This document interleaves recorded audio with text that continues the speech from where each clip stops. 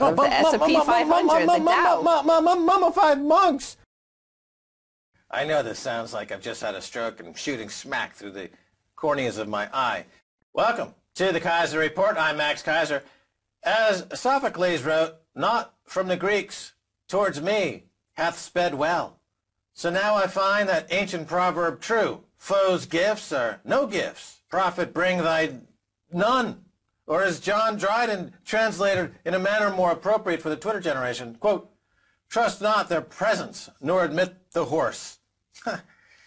but nevertheless, this is what the teleprompter says. Yes, Greeks should have known well enough to fear the enemies of price discovery and true democracy, the European bureaucrats and their banking masters, when they came bearing so-called gifts, i.e. the Trojan bailouts, which allowed even more debt in to destroy the Greek economy and its population. Woo, we got through it, baby. What's happening? So people are buying and selling mummified, trancing Buddhas on the black market. B Buddha wannabes. Buddha trancing Buddha wannabes. All these derivatives are bogus.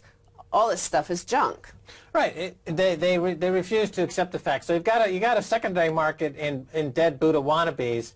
Uh, just like let me let me explain something. Um, the amount of of, of, larceny, uh, of pilfering, of money, of, of wealth confiscation has grown to the state of such epidemic global proportions that the people doing the stealing, HSBC, central banks, big corporations, they've run out of money to steal.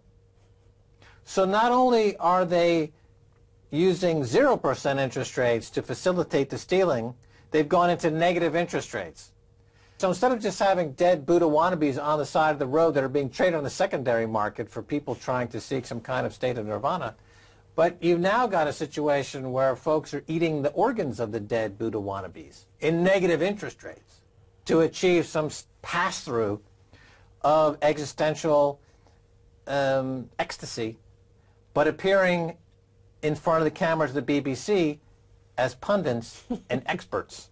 These mummified uh, corporations and, and um, banks are on the, the primary market of the S&P 500, the Dow. Mummified monks are the are the key collateral that that one finds when if you to to open the doors of the Bank of England. You're not going to find any cash. You're not going to find any gold. You're not going to find anything of any value. You're going to find mummified monks. This is the best economy ever. Well, Gallup CEO, America's 5.6 unemployment rate is one big lie. It's dead. The, the jobs market is dead. The jobs number will tell you something profound about the economy. Productivity, which is output per hour, is crashing. Because you can keep adding low-level, no contract, below minimum wage service jobs into the mix. And you can say people are employed.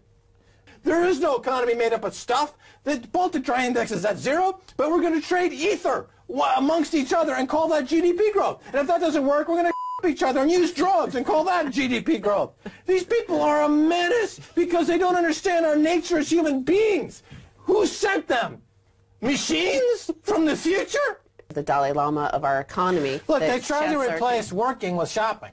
They, exactly. they believe that a man can be satisfy his, his needs as a man going back uh, 20,000 years, 10,000 years, the whole course of human modern post-agricultural boom history in, in, in, the, in the globe where men go and hunt and men fish and men provide and men build houses like, like James Brown would say. it's a man's world. He builds the things that go round and round. You see? It's all there in, in, in the funk. And, and, and we are to believe now in this era that a man's occupation can be replaced with shopping, completely destroys the fabric of society. They've destroyed man in this way. Osborne has destroyed the, the, the male part of our society. But they're not being employed in such a way to generate sufficient taxable income to pay off any significant portion of the national indebtedness in the America now approaching $20 trillion officially. And $100 trillion unofficially if you include the unfunded liabilities of Social Security, Medicaid, Me Medicare, etc. Similarly in the UK. The debt in the UK is now approaching 2 billion pounds unofficially. Yeah, but I, am just laughing because you mentioned of the S&P 500, the Dow. Mummified monks. Of the S&P 500, the Dow. Mummified monks. Mummified monks. Mummified monks.